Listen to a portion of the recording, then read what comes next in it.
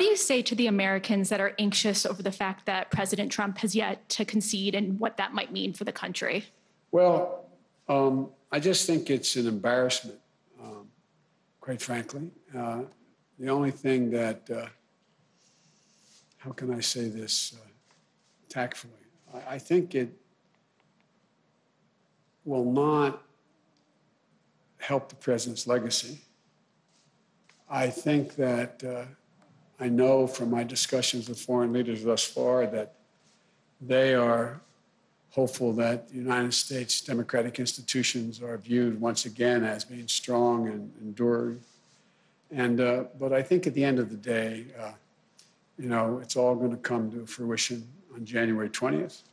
And between now and then, my hope and expectation is that the American people are do know and do understand that there has been a transition, even among uh, Republicans who are people who voted for the president. I understand the sense of loss. I get that.